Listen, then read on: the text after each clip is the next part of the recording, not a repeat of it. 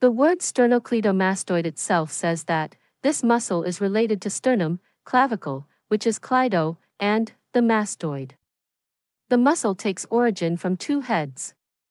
Sternal head, from anterior surface of manubrium sterni, and clavicular head, from upper surface of medial part of clavicle. And it gets inserted into the mastoid process, and the lateral half of superior nuchal line.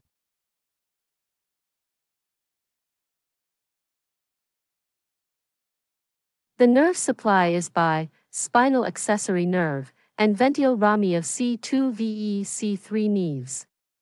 Action of sternocleidomastoid is when both side muscles contract together, it causes flexion of head v neck, and when one side of the muscle contracts, the head is tilted to same side, and chin is rotated to opposite side. Clinical anatomy Infantile torticollis. Two attachments of sternocleidomastoid are pulled towards each other, and the muscle remains contracted. The reason for this is, there will be injury to sternocleidomastoid during birth, and it will lead to gradual fibrosis of the muscle. The head is tilted V rotated to one side.